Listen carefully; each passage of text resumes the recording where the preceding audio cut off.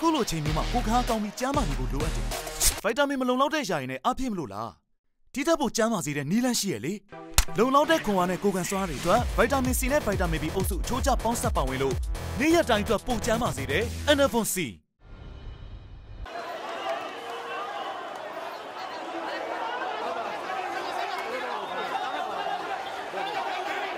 ပြီးခဲ့တဲ့2018မေလ22ရက်နေ့ကရန်ကုန်မြို့တောင်ဝေကုန်းတံတားအနီးမှာ စစ်ပွဲတွေရပ်ဖို့ဆန္ဒထုတ်ပေါ်ခဲ့သူ18ဦးကိုဒီနေ့ဗဟန်းမြို့နယ်တရားရုံးက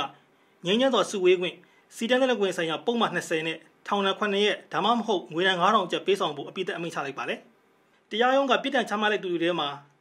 အတန်ဖွဲ့ကကြပြားဆရာမောင်ဆောင်ကဒီမိုကရေစီဖွံ့ဖြိုးတိုးတက်ရေးကော်မတီကမတ်တင်စာရှွန်းလဲ့ဤအရမဝါဒစန့်ကျင်ကော်မတီကကိုမြတ်ကျော်နဲ့ Generation Way အဖွဲ့ကကိုမိုးသွေးမအီမိုးတို့ပါဝင်ပါတယ်။ဒီမှုမှာဥပဒေကြောင်းအရလိုက်ပါကိုကြီးဆောင်ရွက်ပေးနေတဲ့ ဦးကြီးမြင့်ကသူ့ရဲ့အမြင်ကိုအခုလိုပြောပါတယ်ဒီမှုကအမှုကိုတွဲတင်တင်းတဲ့ကိစ္စမျိုးဘာလို့လဲဆိုစစ်ပွဲတွေရက်ဆိုတာဘာမှအမြင်လားဟိုအငြင်းထွက်စရာကိစ္စစစ်ပွဲတွေရကြကြဒီမှုကဖြစ်ပေါ်လာကြမရှိရတဲ့အဆွဲခံတဲ့အမှုဖြစ်ပါတယ်အဲ့တော့အမှားတော့ဒီမှုကခြေဖြတ်ပလိုက်တဲ့ခြေဖြတ်ပြစ်တဲ့ပြစ်တဲ့ဥပဒေအရအမှုဖြစ်ပါတယ်အဲ့ဒါကိုဒီလိုဆွဲပြီးတော့ဒီလိုအပြစ်ဒဏ်ပေးခြင်းပါတယ် ကျွန်တော်နိုင်ငံရေးရရေးကိုအများကြီးထိခိုက်တယ်လို့ကျွန်တော်ကဒီလောက်ပဲပြောနေပါတယ်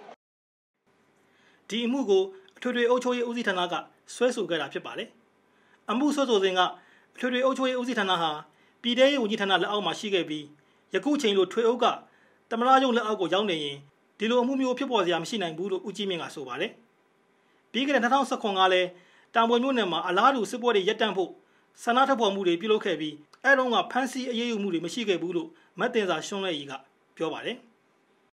2018မှာမှကျမတို့တရားစွဲခံရတဲ့ကိစ္စရဲ့ဒီဒါဥပဒေကိုလိုသမျိုးမလိုသမျိုးပေါ့နော်အရှိတမျိုးနောက်တမျိုးလောက်တာအသုံးပြုရလို့ပဲကျမတို့ကပြောချင်ပါတယ်ဆိုတော့ဥပဒေဘလို့ရဲ့အမိန့်ချသည်ဖြစ်စေဒီအမှုကြီးကျမတို့အမြင်မှာတော့လုံးဝစကြရတရားစွဲဆိုမှုမပြုခဲ့တဲ့အမှုလို့ပဲကျမတို့မြင်ပါတယ်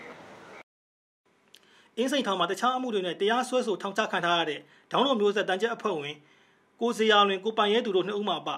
ကြံ15ဦးဟာငွေဒဏ်9000စီပေးဆောင်ခဲ့တယ်လို့သိရပါတယ်။ ဒီမိုကရေစီကိုသွားမှနိုင်ငံအနေနဲ့ငြိမ်းချမ်းစွာစုယုံခွင့်ငြိမ်းချမ်းစွာစီတန်းတဲ့ခွင့်တွေရှိတင်ပြီးယခုလိုအမှုမျိုးတွေမရှိတင်ဘူးလို့ရှင်းနေဦးကြီးမင်းကဆိုပါတယ်ဒီဒီမိုကရေစီကိုသွားမယ့်နိုင်ငံတွေကဒီလိုလောက်ထလင်းနဲ့တော့ဘာမှဆန္ဒပြရတာလည်းမဟုတ်သေးဘူးလူလူရှိ